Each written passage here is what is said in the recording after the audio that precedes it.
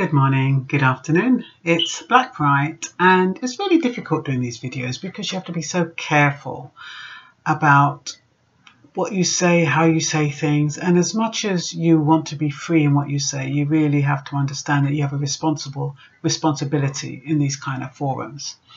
And so what I tend to do is I tend to select um, what I feel is beneficial for people who I feel are disadvantaged and who could who could benefit from the information I share in the videos.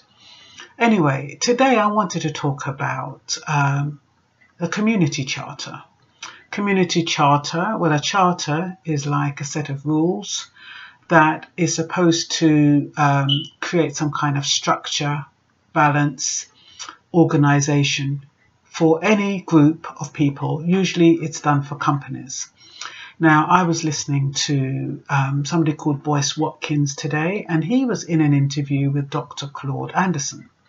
And they were talking about the Black Code. And the Black Code is supposed to be uh, a system whereby um, the community they follow a set of rules. They have a code of conduct. It's a bit they they call it a bit they they made the analogy of the mafia and they made analogy of organizations and um, how people that's how you know the asian community they work with a code of conduct or code of etiquette.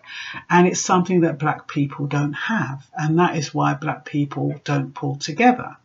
But when he was talking about black people not pulling together i thought to myself well when you think about a rave you see plenty of black people pulling together. I mean, I went to a rave um, over the Easter weekend and the place was absolutely packed.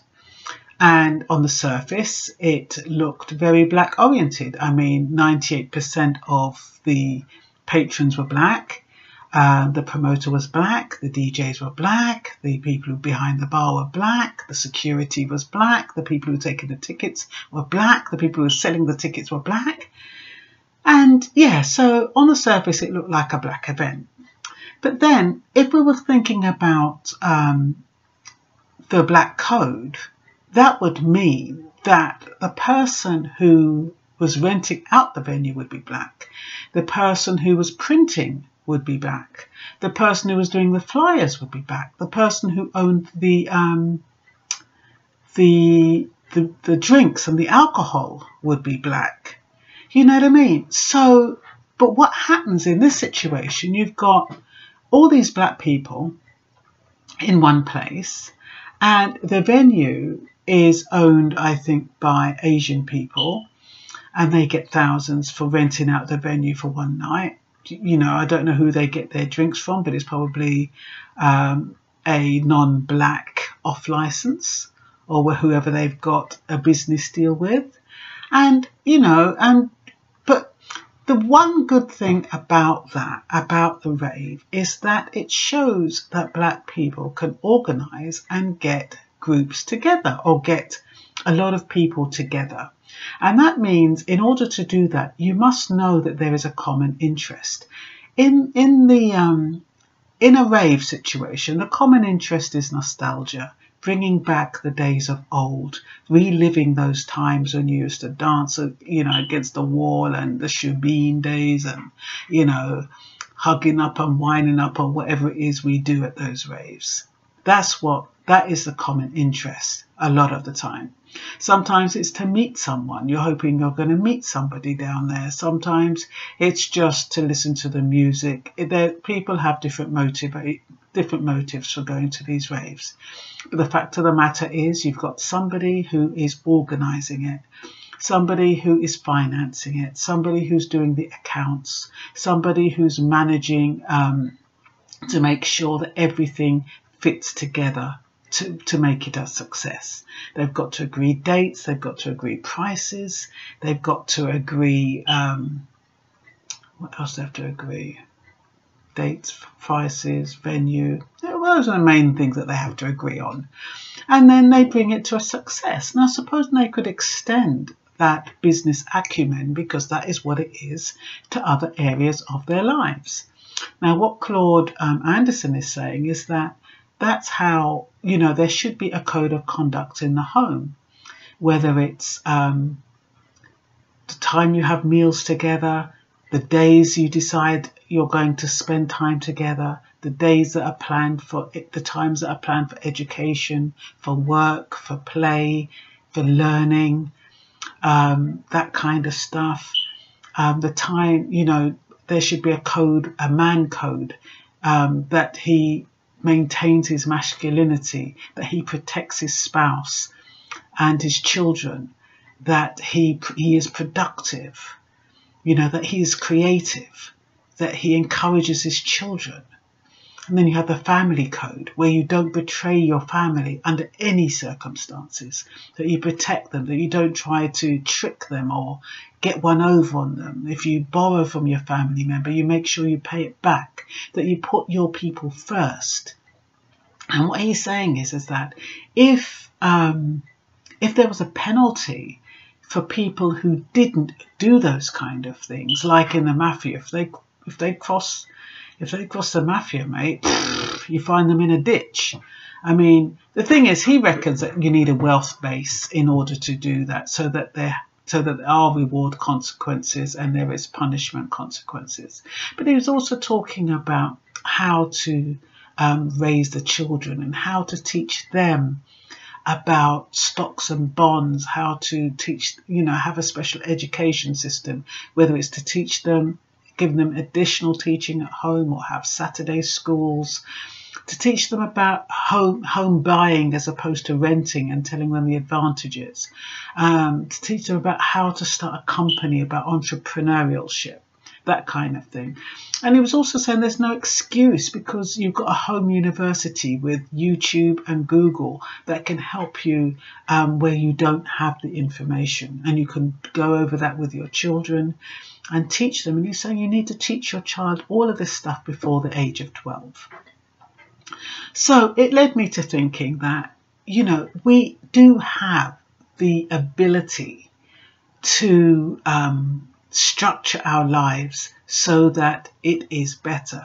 But because we don't, because our lives aren't structured, that's why they, they're, they're unfocused and that's why we're all over the place, a lot of us. So it is about, you know, taking serious interest in your family, in your spouse, protecting them, making sure they don't come to no harm wherever possible. With your children, it's about when they come home and they have their homework and they and you say to them, "Have you done your homework?" and they say, "Yes, mom." You say, "Well, bring it and let me see it then." Don't just take their word for it and go through the homework with it. Make sure it's right. If you're not clued up, literal, you know, with your literacy, I'm sure you can find somebody who can at least help in that area. So you don't have to feel uncomfortable or you can even go on Google together or YouTube to find to make sure that the answers that your son or your daughter has put on the paper are correct. It's also about when they say when you say to them, Have you tidied up your room? And they say, Yes, mom. You go and check the room. You don't just take their word for it because, they're going to say anything so they can use the Xbox or go on the phone. And the reward would be okay, you can go on your phone for an hour, but you double check, you get involved. When you tell them to go and read a book, a lot of times when kids want to do something, they need an incentive so that there's something to motivate them.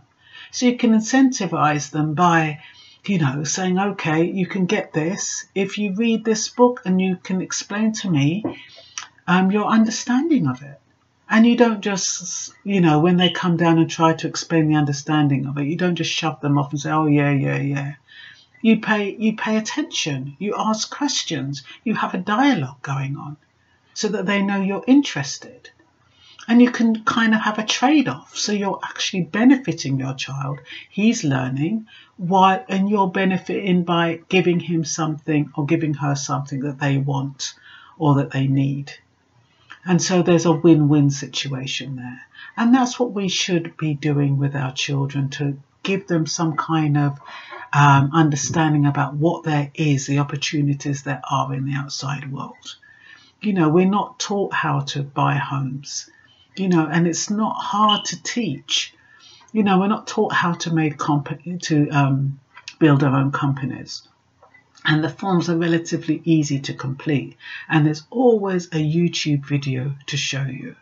So these are the kind of things that you need to be teaching young children, especially under the age of 12, so that when they go out the world, they have a heads up because you can't rely on the schools. They've just got too many pupils in the classroom and your, in, your child is just a number. You know, they cannot cope with all the children in the class. So it's about having that kind of moral um, structure in place. And so once you've got once you've got that, and then you're thinking about the finan- their financial acumen, what can you teach them about finances? This is where you start telling them about stocks and bonds. And once again, you don't need to know anything about it, but you can sit with them and have a look and say, what kind of things are you interested in? Go on Google, go on YouTube and check it out.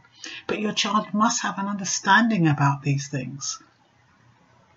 You know, and those are the kind of um, things I'm talking about. When you're thinking about a charter, a community charter, it is about um, the, being a man, being a family member, being loyal, putting your community first, supporting your community first. If you and the thing is, a lot of people think, oh well, I can't do nothing. You need money. I ain't got no money. But do you know how many funding streams there are? They've got funding for all different things. If you've got an imagination and you have a creative mind, and you can think of a project that can help other people and put people in jobs, there's funding for it. And there's also somebody to help you complete the funding forms. I mean, I was given £10,000 to um, do a project for human trafficking. I'd never had £10,000 in my hand in that way to manage on behalf of someone else. Um, I'd never had to do this mile to, to create milestones and project manage and get companies to assist. It was such a successful project. I didn't know anything about it. But you know, I the first thing I did was to find a company who did, who was an expert in human trafficking, and I solicited their help. And then with them, we kind of um, networked with the police, we networked with the border force, we networked with the hospitals, we networked with Samaritans, Red Cross. Um, ah, so many organisations, and it was a success. It was the first inauguration um, event in in Bedfordshire to do with human trafficking. And I had the, you know, I was proud of that. I was able to account for the funds. I mean, finances is not my thing. But you know, if you account, if you make sure you document all the money you're spending and all the money that's, you, you know, you've got the money that's come in and you just document every single penny you spend and you just, uh, you know, just take it off of the total. And yes, it's an arduous process. And sometimes you buy something and then you forget and you're like, oh, where did I put the receipt? You just have to be organized. And I'm not saying that it's an easy thing to do, but you can do it if you're disciplined and you're focused.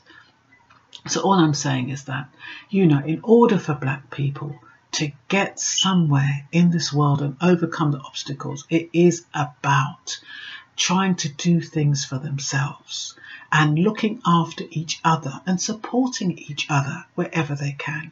I mean that is the main thing. If you if you can start up a, a community interest company through the funding, that's well you have to have the community interest company first and then and then you get the funding but you can set one up easily enough there's plenty of people out there to help you the forms are relatively simple. I think the prices have gone up now. It might not be so easy to do a community interest company now, but you can do a, a public limited company fairly easily.